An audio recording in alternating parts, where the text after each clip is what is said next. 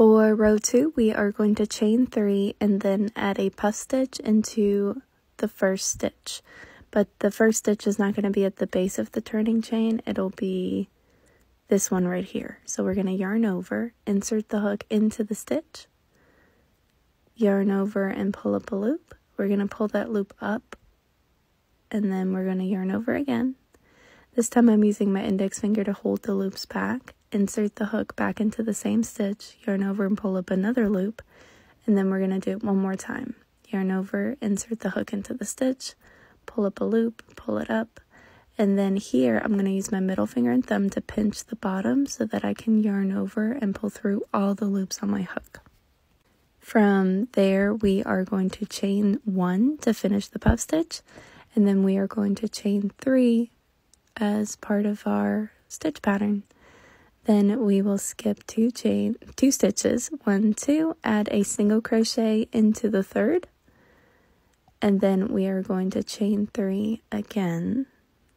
So one, two, three, and then skip two stitches, one, two, and then add a puff stitch into the third one. So yarn over, hold the loop back either with your index finger or your thumb, it's up to you.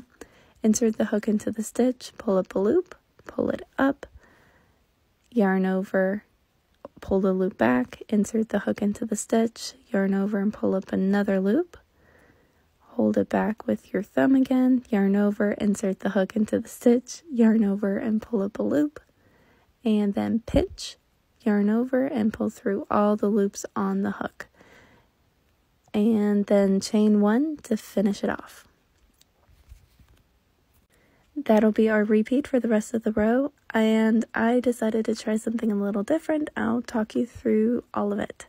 So we're going to chain three, and then we're going to skip two stitches, one, two, add a single crochet into the third, then chain three again, one, two, three, yarn over, skip two stitches, one, two, insert the hook into the stitch, pull up a loop, yarn over again, insert the hook into the stitch, pull up a loop, yarn over again, insert the hook into the stitch, and pull up another loop. Pinch the bottom, yarn over, and pull through all the loops on the hook.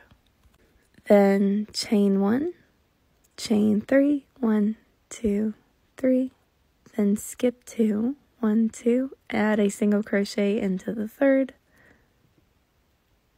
then chain three, one, two, three, yarn over, skip two, insert the stitch hook into the stitch, yarn over and pull up a loop, yarn over, insert the hook into the stitch, yarn over and pull up a loop, yarn over, insert the hook into the stitch, yarn over and pull up a loop, pinch, yarn over and pull through all the loops. Then chain one to finish it off. Then chain three, two, three.